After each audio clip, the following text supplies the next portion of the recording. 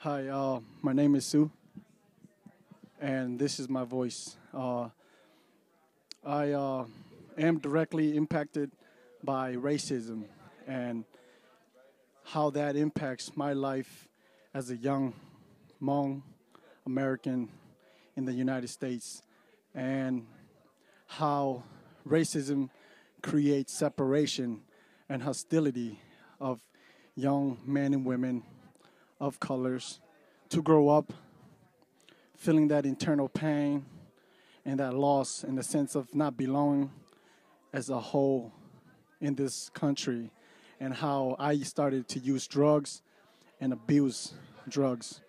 And um, it has made a very impact impactful um, uh, impactful uh, thing in my life coming to overcoming to race overcoming racism and I just want something to be done. So that's why I choose to speak. And I am committed to spreading the message and helping young uh, women and men and further educate myself. And I'm from Winona State University. Yeah thanks. This is my message